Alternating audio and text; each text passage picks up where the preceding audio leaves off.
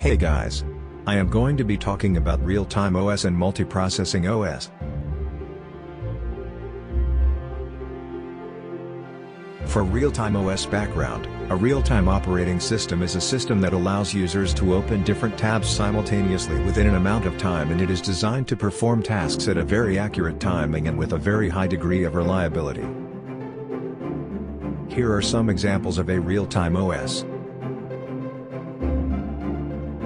Now we are going to look into the background of multiprocessor OS, where the usage of two or more central processing units, CPU, within a single computer system is referred to as a multiprocessor operating system. There are two types of multiprocessor operating systems, one is asymmetric multiprocessing and the other is symmetric multiprocessing. Now here are some examples of a multiprocessor operating system. Why do we need these? For real-time operating systems, there is a need for RTOS when there is an application where the tasks need to be executed concurrently. RTOS allows there to be several tasks to be in a memory simultaneously and it can switch between these tasks based on the priority of the task. There is also preemption. Preemption is the ability to ignore one task when there is a task that is higher prioritized. Why do we need these? For a multiprocessor operating system is needed as it processes each given task with more than one processor. With this, the performance of a system's application environment can be enhanced beyond the capacity of a single processor. This allows for performance tuning of the server network to get the desired functionality. What is the application? A hard real-time operating systems is when the operating system can give a guaranteed maximum amount of time for the task to be carried out within the time frame and if the timing is not met, serious consequences might occur. What is the application? A soft real-time operating system is when the operating system is relaxed on its timing and it is okay to miss the deadlines. Even if the deadlines are missed, there will not cause any consequences. What is the application? An asymmetric multiprocessing AMP, system is a multiprocessor computer system in which not all of the linked central processing units CPUs, receive equal treatment. Only a master processor executes the operating system duties in an asymmetric multiprocessing AMP, system. What is the application? A symmetric multiprocessing SMP, system is a multiprocessor computer software and hardware architecture in which two or more identical processors are linked to a single, shared main memory and have complete access to all input and output devices. Symmetric multiprocessing SMP, system, in other words, is a kind of multiprocessing in which each processor schedules itself. Where is it being used? RTOS is used in embedded systems like in the airline industry and traffic control systems. You can find RTOS in systems that will require immediate updating like in an airbag system and a car brake system. Where is it being used? The multiprocessor operating systems are often utilized when processing a huge amount of data at a rapid rate is necessary. They are commonly utilized in environmental applications such as satellite control and weather forecasting.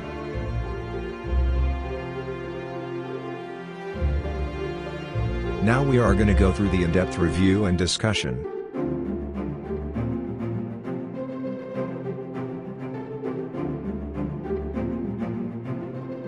What's so special about it? For RTOS, it is known to provide a hard real-time response, allowing quick and highly responsive inputs. Its highest priority task will always run as long as it needs to. RTOS is extremely reliable and time efficient as well. What's so special about it? For MPOS, the multitasking operating system works on more than one tasks, by switching between in a very quick manner. This allows for efficiency and allows the system to switch smoothly between tasks. How does it differ from other OS? The RTOS is specifically designed to run applications at a very precise timing with a high degree of reliability. It is reliable because it has the ability to suspend and resume its tasks even at a later time or even for a lifetime. Control scheduling, the RTOS can effectively handle interrupts based on priority, expected to meet algorithmic deadlines regardless of how poorly the scenario may become. There are two types of multiprocessing, symmetric multiprocessing and asymmetric multiprocessing. Multiprocessing system has more than one processor and they can execute multiple process simultaneously. In symmetric multiprocessing, processors shares the same memory. In asymmetric multiprocessing there is a one master processor that controls the data structure of the system. What are the pros and cons of it compared to other OS? RTOS Pros deliver task scheduling RTOS priority-based scheduling decides which task should be executed at a particular time, ensure the program functions fast and responds efficiently. Standard OS prioritizes executing as much processing as possible in the quickest amount of time while RTOS prioritizes predictable response times. RTOS Pros. Focus on applications. RTOS processes fewer applications or tasks are managed, and exact results on current execution work are provided, whereas standard OS take priority running as many applications as possible, with less emphasis on applications durable. RTOS uses durable hardware to sustain harsh conditions for long periods.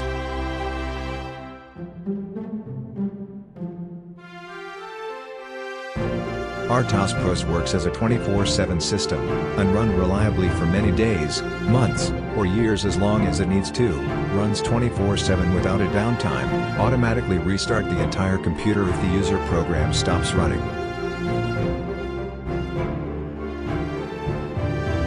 RTOS, cons limited concentration. Only can run a few tasks at the same time to avoid errors, their concentration is limited to a few applications. RTOS, cons complex algorithm. Can make it difficult for developers to edit the algorithm, more uncomfortable to program than the usual desktop operating systems. RTOS code needs to be extremely precise as event handling of tasks with RTOS is strict.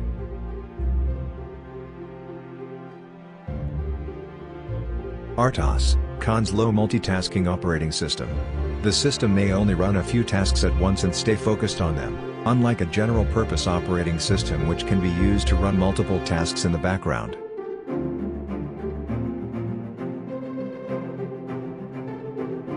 MPOS, pros time sharing.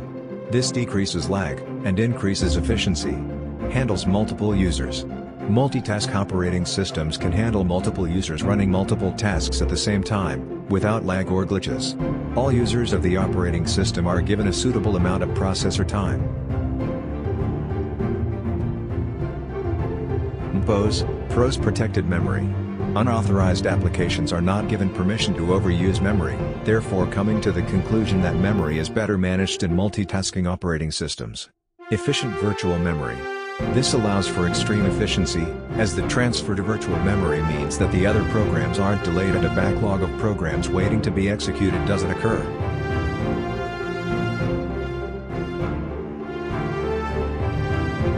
MPOS, PROS programs can run in the background. Despite not being physically visible to the computer user, the operating system will have background applications running to maintain and make sure that other programs are running smoothly and efficiently. Increases reliability in the system. The operating runs smoothly when multitasking. Programs and users alike will feel the efficiency. MPOS, PROS utilize multiple programs and computer resources, the system can handle multiple applications at the same time, like a web browser, MS Word etc. Furthermore, the computer hardware like the RAM, processors, hard drives, input-slash-output devices are better managed in multitasking operating systems.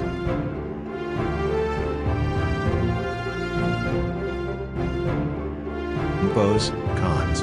Limitation of memory. Due to running multiple applications slash programs at the same time, a computer system's memory could become overloaded with too many programs, as the memory tries to give each program runtime. Pros, cons. Dependency on the processor. Despite having a multitask operating system, the system performance will ultimately still depend on the processor specification.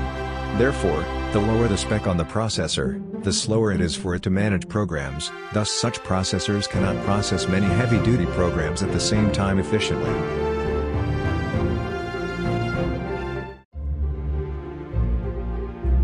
Pros, cons.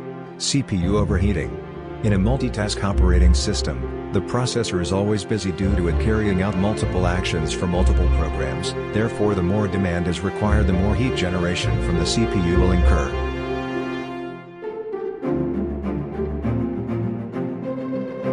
To sum up this thing for not big brain people, these two operating systems are both good in their own ways depending on what you need and require of it and if your work requires you to attain one of these operating systems, there is always their own good and bad to it.